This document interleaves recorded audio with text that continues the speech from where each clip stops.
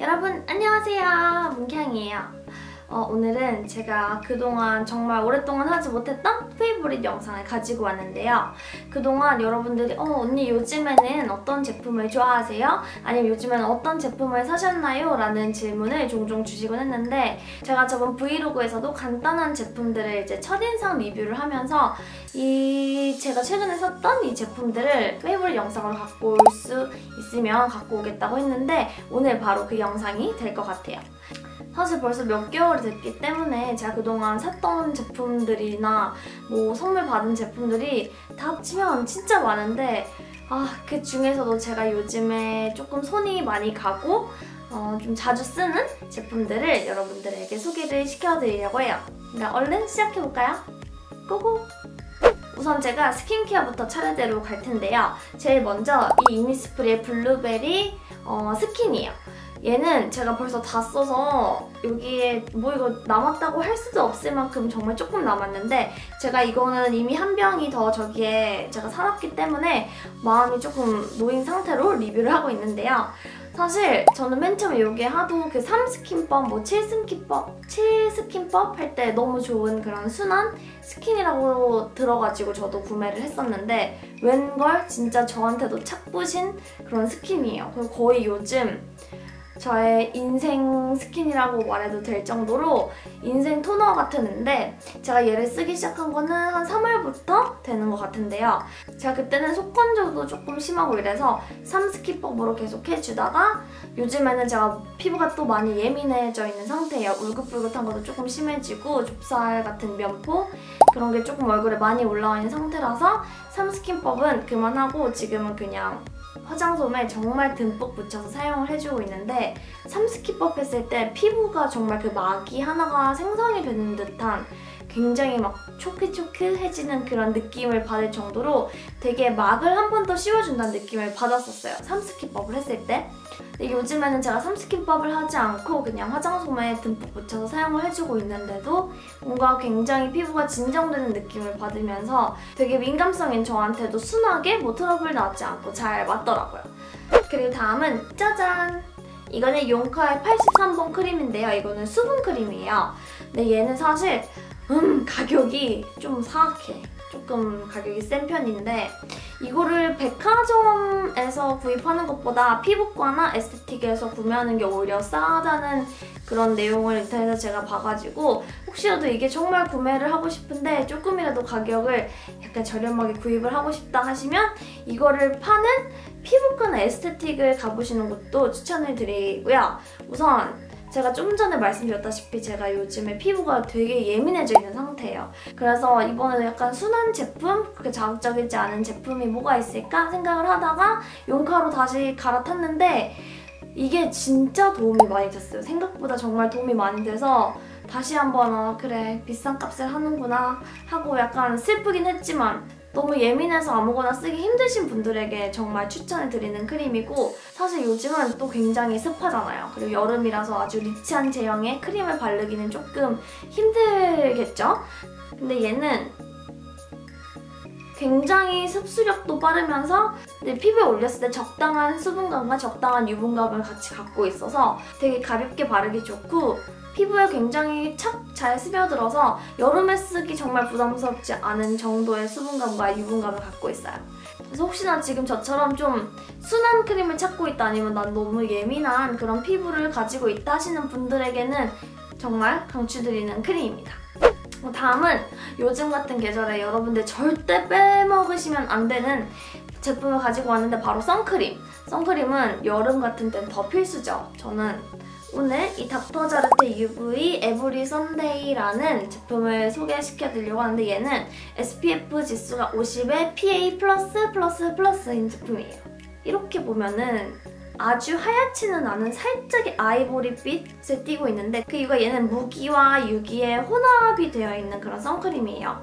그래서 백탁 현상이 심한 건 절대 아니고요. 살짝의 톤업 그런 효과가 있는 제품이라서 바르고 나면 얼굴이 약간 반톤 정도 이렇게 톤업이 되는 효과가 있는데 얘를 사실 제가 듣기로는 약간 시간이 지나면 유분감이 많이 올라온다라는 그런 걸 제가 봤어서 처음에 살짝 반신반의하면서 샀어요. 게다가 여름이니까 이제 유분기가 안 그래도 더 올라오는데 이 선크림을 바르고 너무 그게 심해지면 어떡하지? 라는 걱정을 하면서 샀는데 저는 건성이라 그런지 그렇게 유분기가 많이 올라오는 걸 느끼지 못했고요. 게다가 제가 선크림을 바꾼 이유가 그 전에 쓰던 이니스프리의 그 노란색 이름 뭐죠?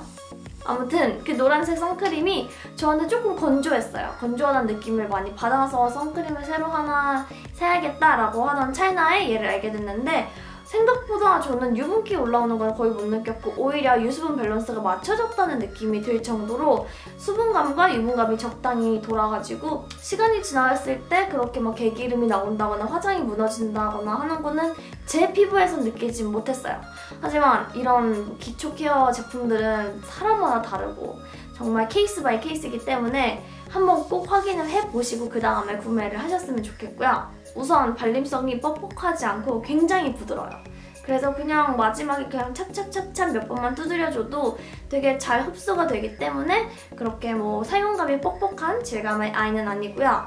그리고 무엇보다 저는 핑크 베이스에 살짝의 그 톤 보정 효과가 있는 게 좋아서 얘는 정말 정말 잘 쓰고 있고 제 구매 의사가 충분히 있는 아이입니다.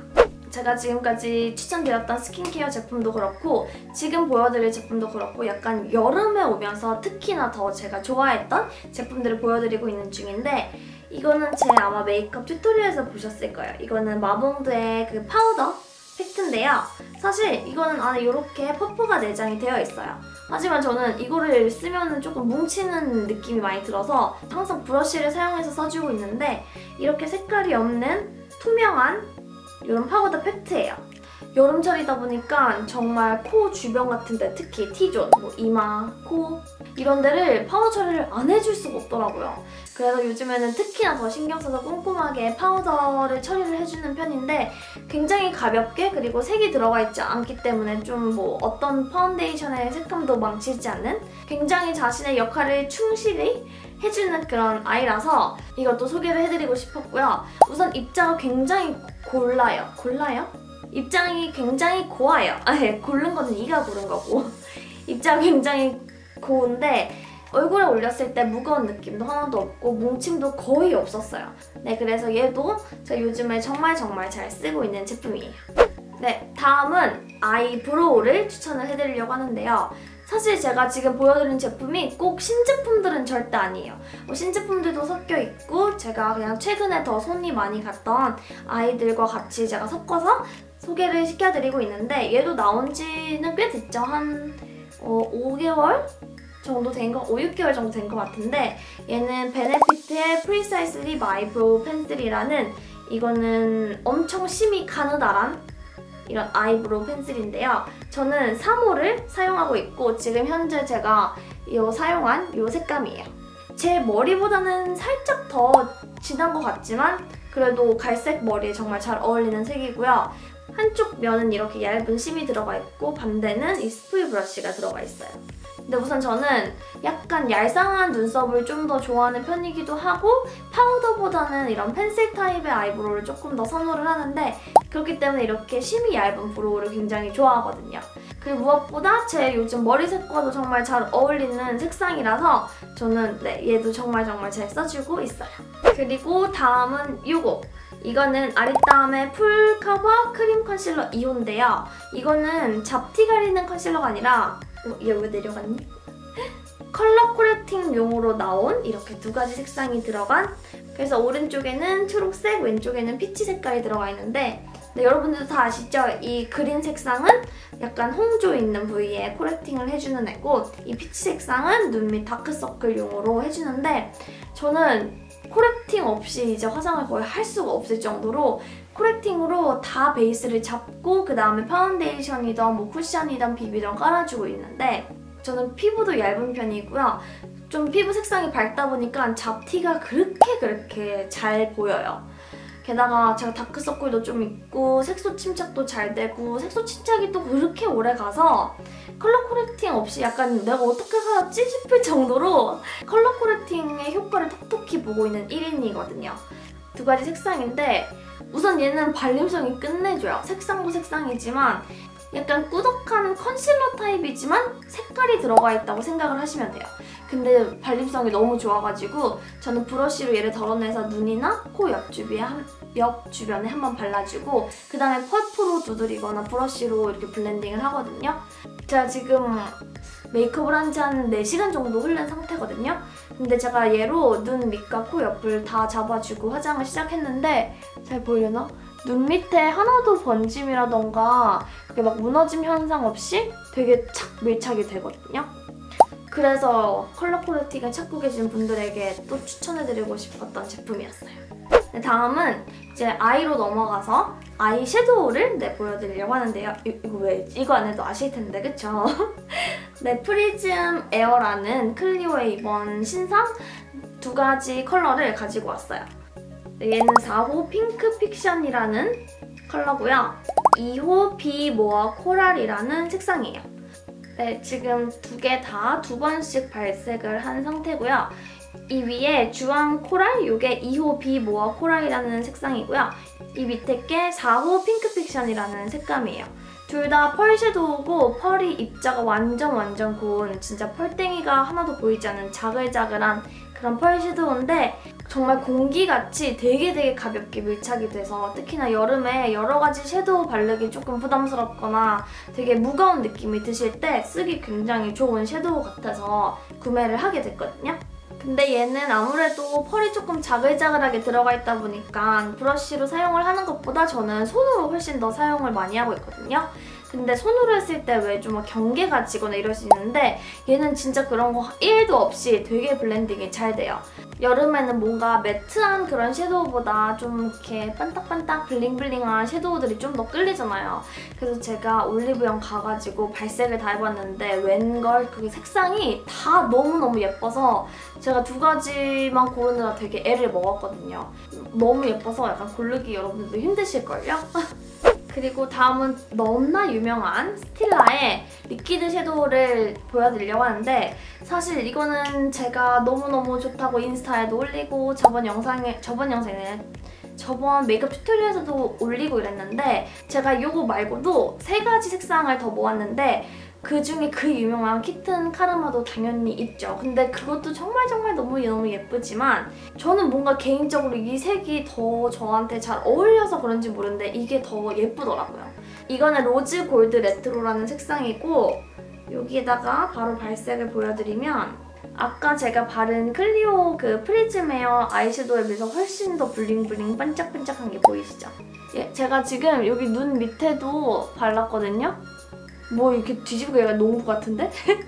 어쨌든 여기 눈 앞머리에 발랐는데 얘가 사실 밀착력도 캡장이고 바르자마자 완전 발색이 장난이 아니라서 이거를 그냥 이 봉 자체로 바르기에는 약간 자칫하다가 여기가 막 사이보그처럼 될 수도 있거든요. 그래서 저는 애교살을 바를 땐 어떻게 해주냐면 면봉에다가 진짜 소량만 딱 찍어서 콕콕콕 바른 다음에 블렌딩을 해줘요. 그러면 이런 느낌이 연출이 되는데 이 두 가지 밑에 섀도우도 그렇고 제가 매트 섀도우를 정말 정말 사랑하지만 그래도 뭔가 여름에는 펄에 어쩔 수 없이 끌리게 되는 것 같아요. 이게 사람이 그런 여름의 그런 페스티벌스러운 느낌 이런 거 굉장히 또 좋아하거든요. 그래서 이런 블링블링한 제품을 되게 많이 쓰는데 그중에서 단연 제가 정말 많이 쓰고 있는 제품이 바로 이 스틸라의 로즈 골드 레트로라는 색상이에요. 그리고 다음은 제가 아이 메이크업을 할 때 가장 필요한 제 눈 모양을 가장 많이 바꿔주는 제품이 바로 마스카라라고 얘기를 한 적이 있었는데 그래서 오늘 가져온 거는 이 페리페라의 잉크 블랙 카라 롱 세팅인데요. 제가 이것도 꽤 쓴 지 오래됐어요. 근데 정말 얘는 사랑입니다. 마스카라를 한 티를 빡 내주는 제가 개인적으로 되게 좋아하는 그런 느낌의 속눈썹을 연출해주는 아이라 되게 좋아하는데 근데 얘는 long lash 기능이 있는 아이라서 그런지 섬유질이 들어가 있긴 한데 그렇다고 섬유질이 아주 많은 편은 아니고 그래서 막 거미줄처럼 이렇게 막 다닥다닥 달라붙진 않고요. 섬유질이 조금 들어가 있지만 컬링과 long lash의 효과가 둘 다 동시에 있어서 되게 되게 좋고 우선 waterproof 기능이 아주 제대로 들어간 아이라서 또 요즘같이 땀이나 유분 때문에 잘 지워지는 분들에게 정말 정말 어, 추천드리고 싶은 아이예요. 아이고, 더 지워버렸어. 정말 정말 추천드리고 싶은 아이입니다. 그리고 이제 마지막 피날레 빠질 수 없는 립을 두 가지를 가지고 왔는데 어, 우선 첫 번째는 베네피트의 고고 틴트를 가지고 왔어요. 근데 이번 이 고고 틴트는 발색력도 기존에 있던 그 베네피트 틴트 중에 가장 진하고요. 그리고 우선 색이 제가 되게 좋아하는 체리빛 주황? 약간 쿨톤 계열의 요런 아 제가 체리빛 주황이라고 했나요 설마? 체리빛 핑크요. 체리빛 핑크. 네. 그리고 제가 지금 현재 바르고 있는 색상이에요. 지금 바른 지 좀 됐으니까 한 번 더 발라볼까요? 이런 느낌? 그래서 pop한 컬러라서 여름에도 굉장히 잘 어울리고 차차 틴트를 제가 정말 좋아하는데 요즘에 가- 자주 바르지 못했던 이유가 그거는 요플레 현상이 조금 있어요. 아시죠, 여러분들? 근데 얘는 요플레 현상이 정말 1도 없더라고요. 제 입술에서는 요플레 현상이 전혀 느껴지지 않아서 요즘에 진짜 그냥 틱틱 수시로 바르고 다니고 있는 아이예요. 그리고 또 하나, 또 이것도 하, 너무너무 예쁜 색 하나 있는데 이거는 얘는 웨이크 메이크의 립 코스터 M 이거는 1호 Ultimate Red라는 색상이에요. 얘는 살짝 좀 더 warm한 기가 아까 제가 보여드렸던 이 베네피트랑은 좀 다르 베네피트 틴트랑은 다르게 좀 warm한 기가 많이 들어가 있는 조금 더 드라큘라 레드색? warm 레드색인데요. 자, 제가 이 안쪽에 한번 발라볼까요? 여기 안에 할래요? 이런 레드 색감인데 제가 너무너무 좋아하는 레드 색상이에요. 뭔가 샤방샤방 과즙상의 그런 레드보다는 좀 더 약간 girl crush? 좀 더 카리스마 있는 그런 레드 색상인데 이거 너무 예쁘더라고요. 그리고 matte하지만 각질 부각이 정말 거의 없을 정도로 matte함이 크게 느껴지지 않는데 내 입술 위에서는 이렇게 착붙돼서 진짜 지속력도 오래 가고 그냥 다른 말이 필요 없어요. 이 색은 너무너무 예뻐서 제가 주변에도 많이 영업을 하고 다니는 아이예요. 그럼 이렇게 요즘 제가 자주 쓰는 페이보릿 어, 제품들을 보여드렸는데요. 여러분들이 재밌게 봐주셨으면 좋겠고요. 그리고 오늘 보여드리지 못했지만 제가 좋아하는 제품들이 아직도 저기 화장대에 정말 많이 남아있거든요. 그것들은 앞으로 메이크업 튜토리얼에서 제가 차근차근 보여드리는 걸로 할게요. 오늘도 제 영상 봐주셔서 너무너무너무 감사드리고요. 저는 또 얼른 다음 영상으로 돌아올게요. 그럼 저희는 다음 영상에서 만나요. 안녕!